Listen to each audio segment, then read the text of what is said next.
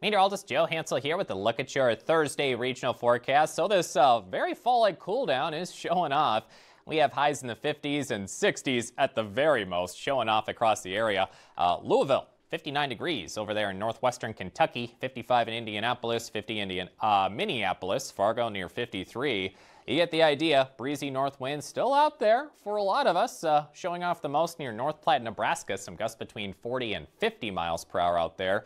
Not much for thunderstorms. Southeast of St. Louis to areas of the Ohio River Valley. If you're in that light green shade, a non-severe thunderstorm is possible, but still a good amount of rain. A lot of half inch to one inch plus totals are expected as the system will very slowly move eastward into the Great Lakes. We're talking the next few days, potentially lingering maybe into the uh, Halloween weekend ahead. Basically, the rain is oriented south to north, almost due north, and it will very slowly with this area low pressure work eastward, prolonging the rain.